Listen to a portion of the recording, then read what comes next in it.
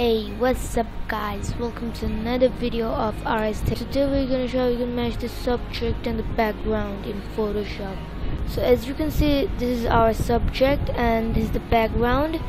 You can download any of these images by checking the link in the description. So let's start. At first we can see that the subject is a bit less saturated than the background. So let's make the subject a bit saturated create a new hue and saturation adjustment layer and let's increase the saturation a little bit. Alright so that's good. Next thing we're gonna do is using color balance. So in this image the background has a orange tint so we're gonna make it to the subject. So we're gonna make the subject uh, a bit yellow make sure make sure the adjustment layer is clipped to the subject. What really this is it, it it limits our adjustments to only to the subject. So let's make it a bit yellow and a bit red so it comes to orange. So in this situation our subject is here and the main light source is here. In theory that light source would make a highlight on our subject so it will match the subject with the background more. To make highlights on subject take a exposure adjustment layer make it brighter and invert the mask take the brush make sure the foreground color is white take a soft round brush and paint it where the highlights should be. So here's the before, here's the after. It makes a huge difference to the picture. Our subject is a bit brighter than the background so we need to make our subject a bit darker.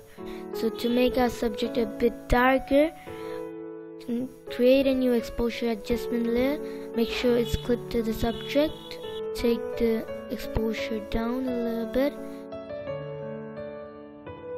And drag this layer down. Make sure it doesn't affect the highlights we've created.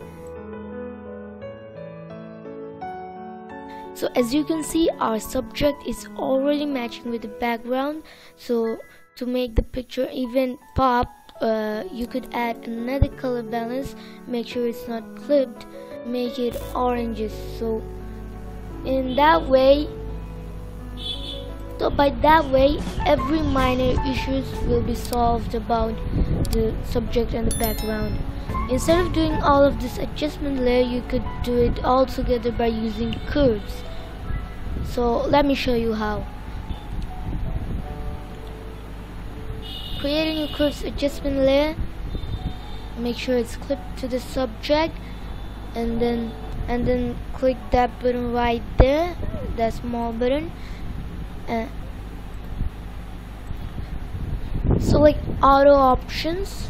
Select and then select there's a lot of algorithm that you can use. We're gonna use enhance per channel contrast select and then and then select shadows now select the shadow area in your background in my case it's that it's this area. That might be a bit darker hit ok and then select highlights and then now select the brighter now select the brighter area in your background. In my case that's that one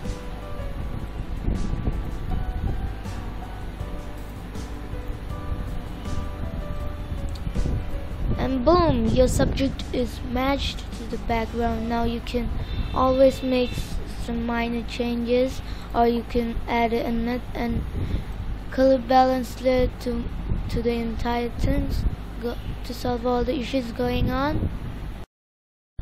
And yeah that was how you can match the subject with the background using photoshop. Make sure to like and subscribe and i will see you bye bye